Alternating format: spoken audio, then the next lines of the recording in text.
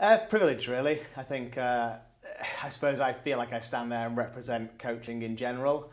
Um, I think no coach could do what they do without their team around them. Um, and I suppose that the athletes that I work with as well, um, engaging with what we do, with what I do. Um, so I think, yeah, privileged and uh, yeah, proud. I think there's probably a lot of things that make a great coach. I think loving what you do is probably pretty central to it.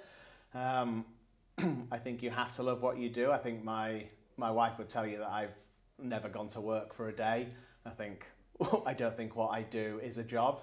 Um, I work with some very special people, um, and that that makes what I do much easier um, and and a joy to be part of. And so, I suppose what makes a great coach, I think, caring about other people uh, and taking the time to know what they want, what they're trying to get, where they want to go, um, and then sometimes having the privilege to be part of that journey, which is is a real honour.